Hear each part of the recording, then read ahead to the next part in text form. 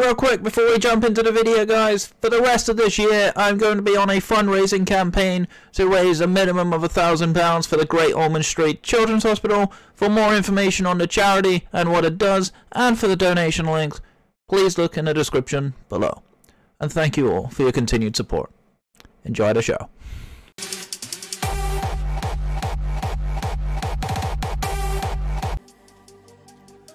What's going on guys? Right I'm teacher now, and we are back with another episode of our Sinnoh shenanigans. We are doing a tier list today, ranking every single Pokemon introduced in the Sinnoh region, of course.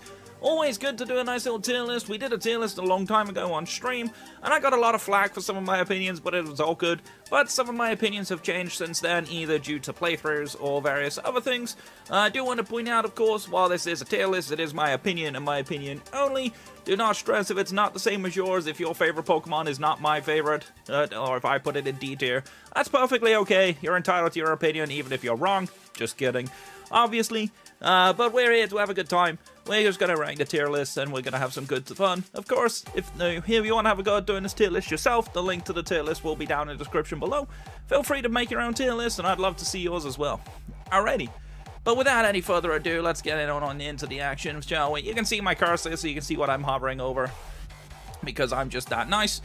Alright, let's do starters straight away anyway. Now, Turtwig is like my least favorite of the base form starters, but I actually don't hate Turtwig. Uh, I kind of like the whole snapback turtle uh, concept, and it's kind of interesting it became a grass type. Grotle, I'm kind of a similar sort of indifferent to.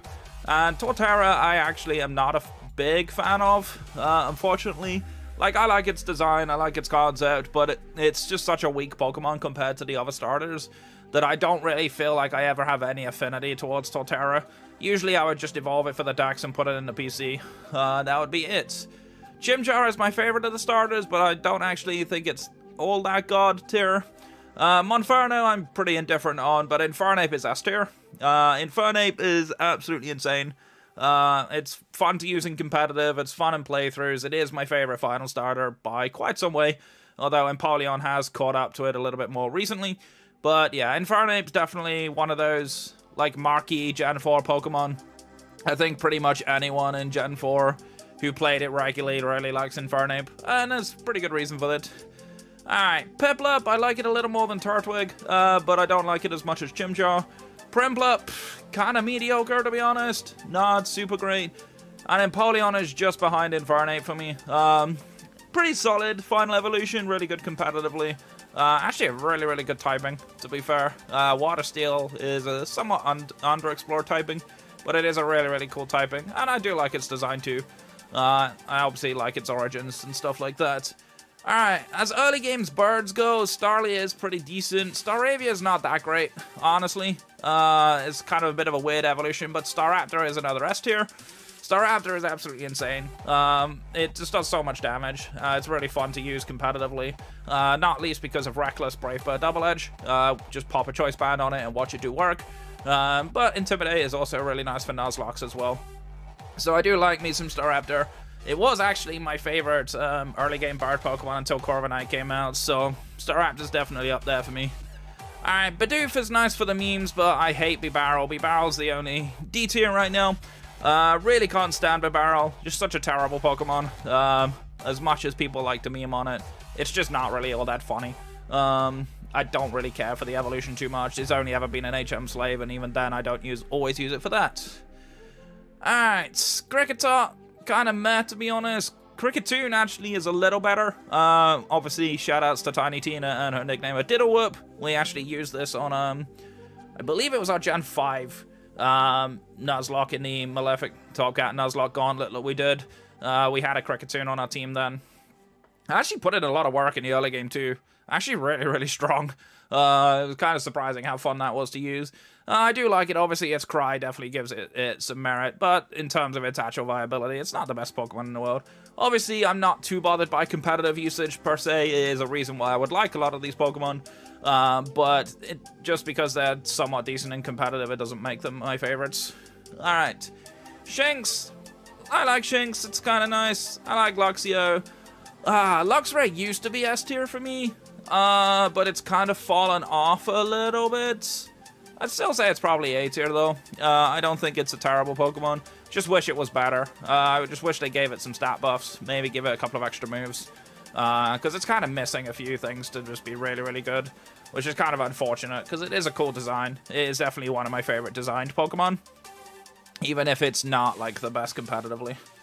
Alright, Budew, and kind of somewhat indifferent to massive fan of Roserade. That is an S tier, uh, immediately again, one of those Pokemon is not the best competitively. Um, it benefited a lot from having hidden power because of the ability Technician, of course.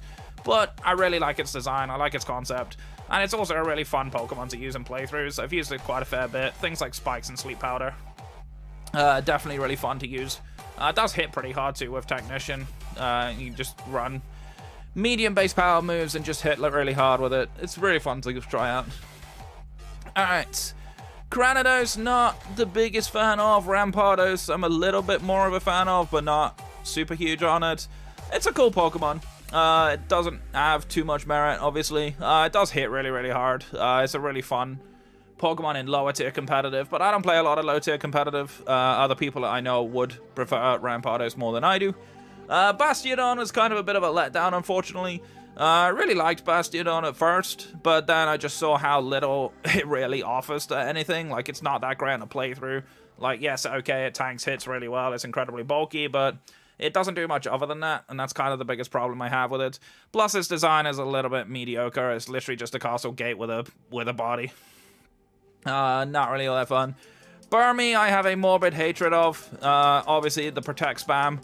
Uh, Wormadam really does not improve it in any way, shape, or form. Um, to be honest, neither really does Mothim. Uh, gotta be honest, this whole evolution line kind of sucks. Uh, pretty annoying Pokemon in your playthroughs where it just constantly clicks Protect. And honestly, like Wormadam, not really all that fun. Um, that being said, though, uh, my good buddy Average, you know, Lost Fire Red Soling did have a Wormadam that actually started doing pretty well for a little while, but again, like that's a very specific niche instance.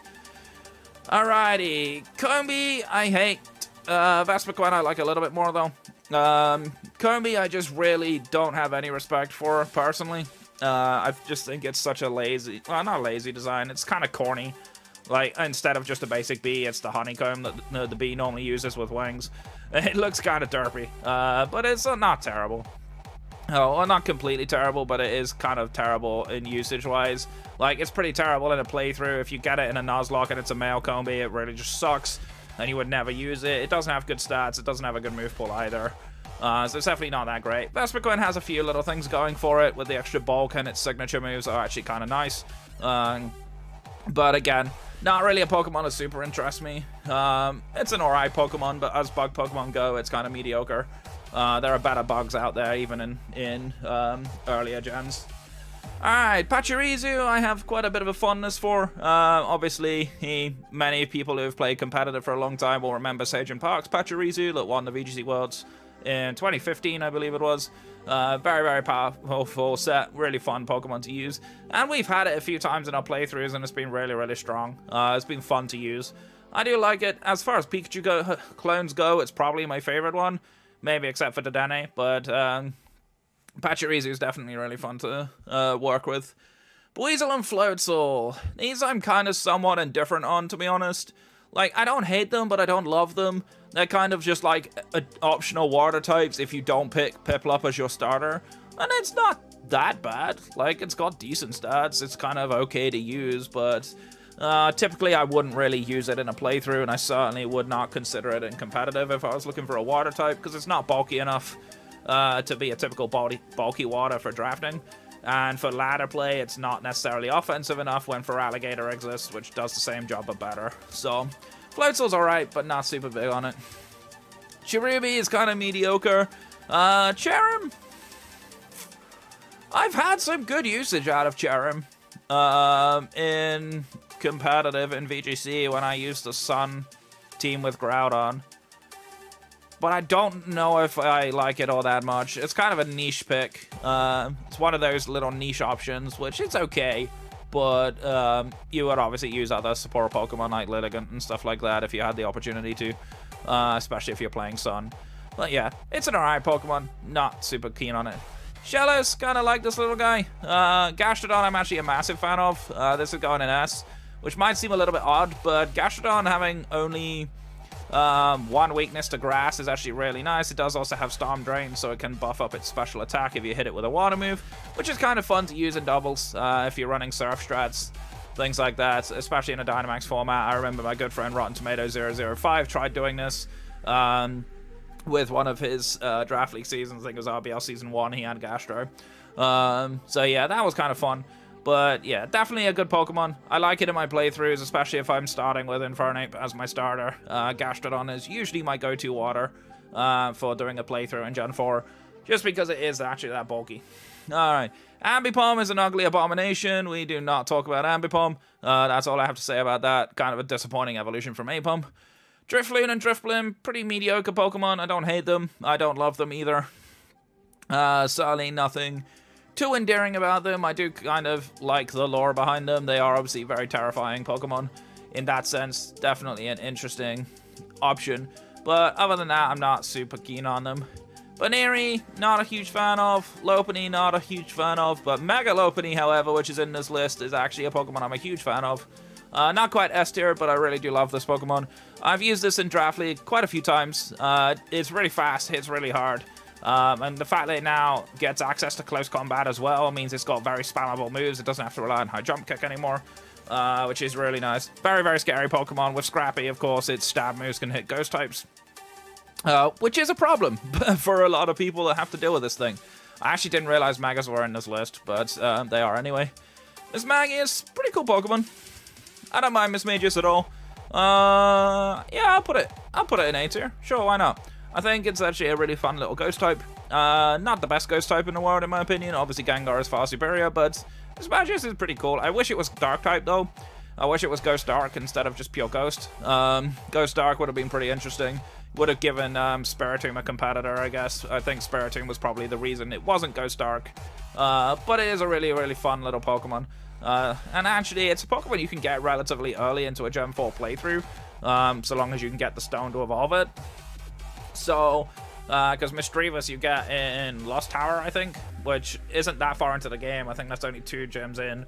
So, yeah, it's not terrible. It's a really good Pokemon nonetheless. I think it's worth uh, considering for a playthrough.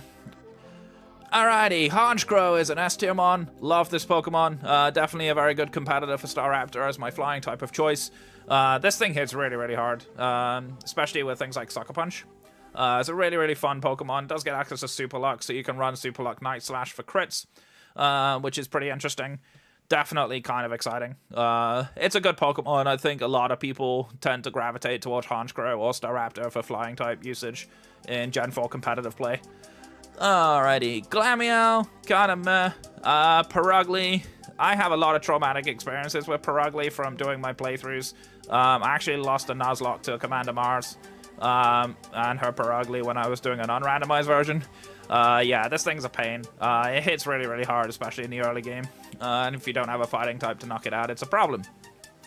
Chingling kind of sucks. Don't like it. Don't really care about it.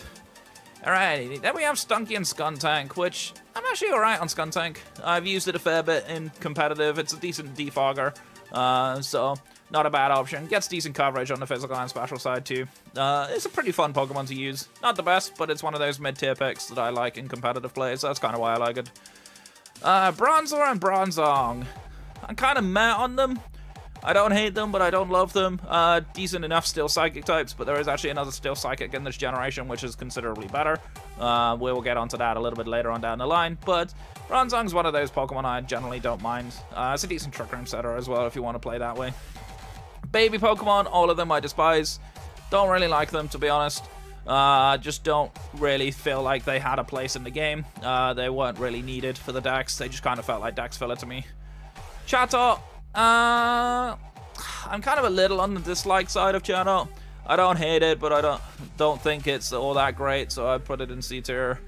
Spiritomb is an A tier pick. I really like this Pokemon, especially in Gen 4 when it had no weaknesses. Uh, it didn't offer necessarily the best offensive stats, but it had some somewhat passable bulk and with access to pressure as well. It was actually really good for stalling out um, opposing teams. I actually once beat Cynthia's team with only Spiritomb, uh, just by pressure stalling out her Pokemon, which was pretty funny. Uh, definitely one of my favorite picks. Now, the Gible line is S tier. I love all of these. I've used Gible in Little Cup. I use Gabite in a lower tier draft, and I use Garchomp, uh, obviously, fairly often in competitive. We actually have it on our current RBL Season 3 team. But I really hate Mega Garchomp. I have to say it. I think this Mega is terrible. Like, it trades the speed stat, which made it viable. Um, it loses 10 base speed for, like, a lot of offensive stats and I don't really like it. It makes it a lot weaker into a lot of Pokemon.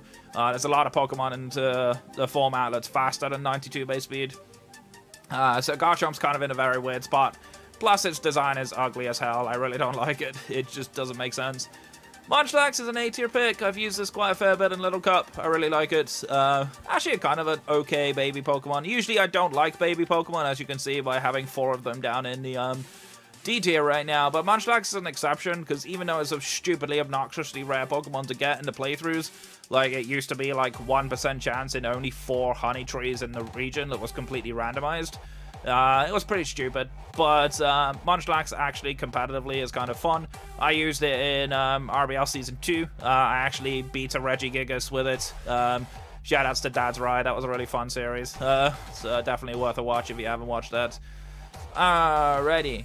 Next up is the Lucario line. Uh, Riolu is A tier, but Lucario, of course, is my favorite Gen 4 Pokemon, so clearly going to be an S tier and going to be right at the front. Uh, doesn't even want to go to the front. There we go. And Mega Lucario can join it.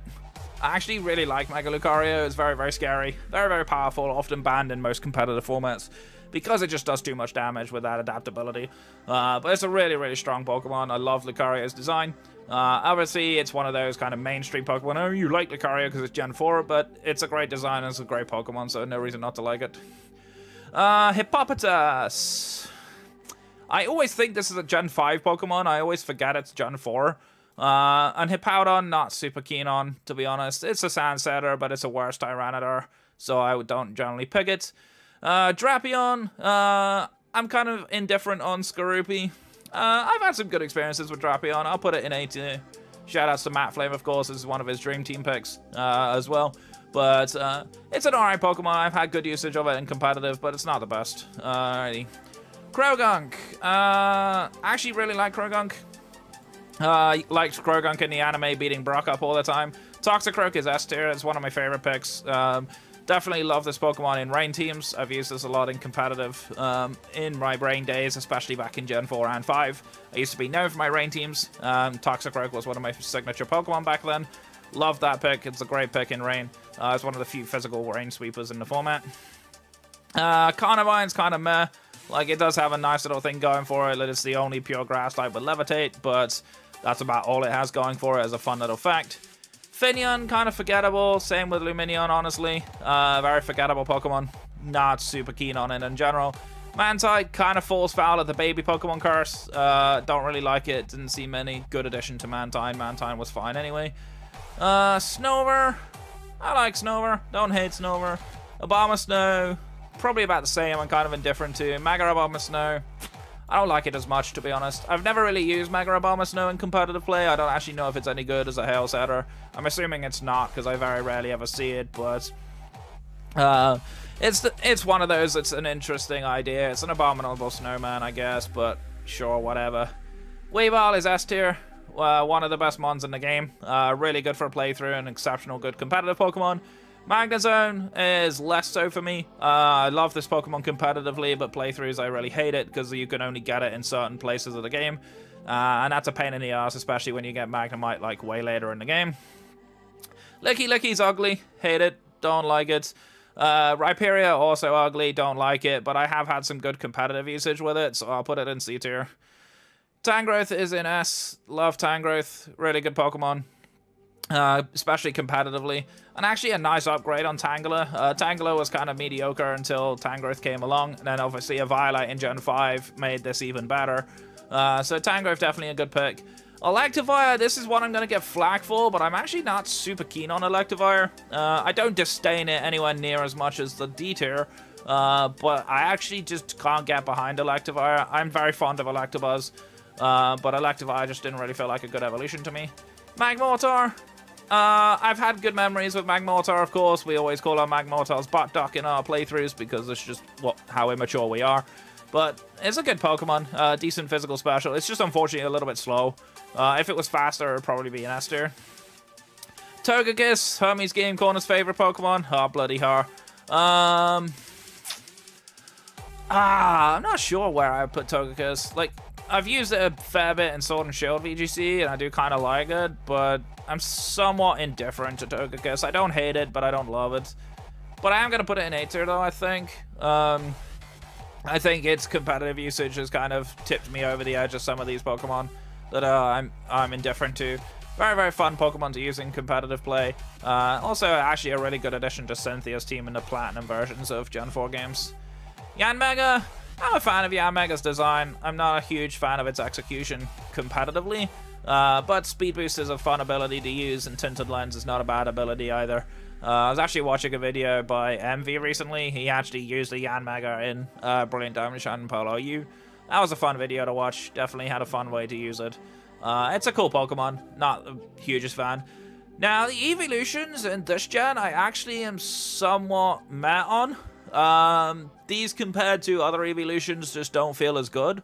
Uh, they're kind of okay-ish. They're passable, but I'm not super fond of them.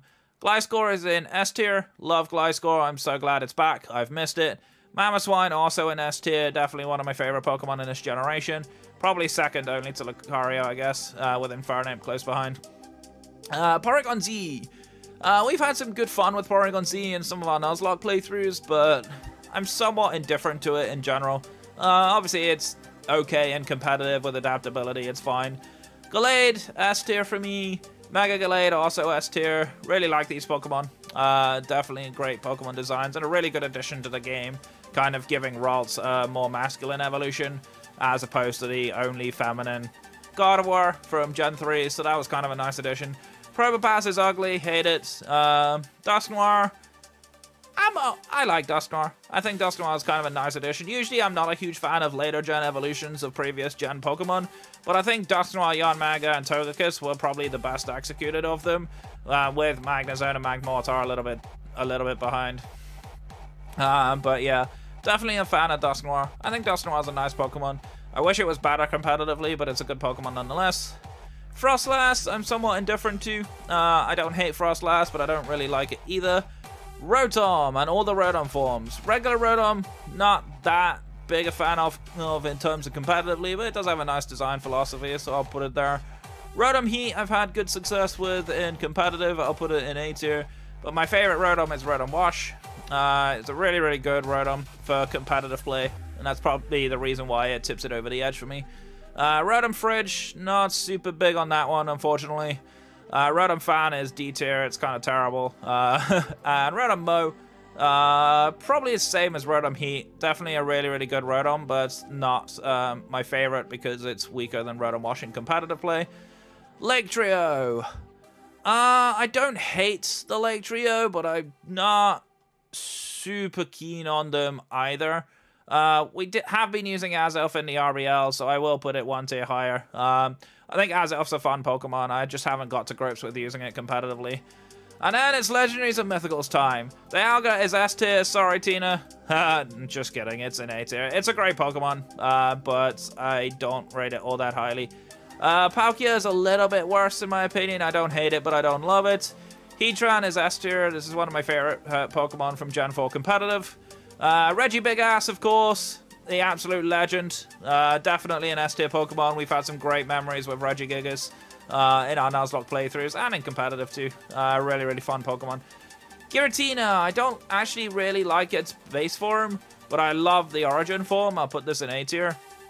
Um, even though the stats are not necessarily all that different, uh, Giratina Origins design actually looks menacing and actually looks like a legendary Pokemon. The base form just kind of looks like a poorly designed beta Pokemon.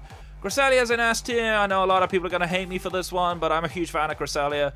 Uh, I've used it a lot in competitive play. Uh, I actually really like its design too. Uh, I kind of like its, its uh, concept. Manaphy is better than Phione. Phione is a complete waste of a Dex slot, but Manaphy is S tier. Phenomenal Pokemon. Really, really phenomenal Pokemon in general. Uh, obviously, Tail Glow makes it so exciting to use. It's really, really fun. Uh, it's a great Pokemon, and usually Pokemon gets killed in my Nuzlocke. Uh, Darkrai is also S tier for me. Huge fan of Darkrai. Um, no, I think the Lunar duo in general, Cresselia and Darkrai, did really well. They were really good executed Pokemon. So I'm super happy with both of those. Shaymin, I've had good memories with Shaymin. I like it a lot competitively. Um, obviously, my friend Denisio will hate it because they had a Shaymin against me and they couldn't land their moves. Sorry, Denisio, for bringing up the PTSD.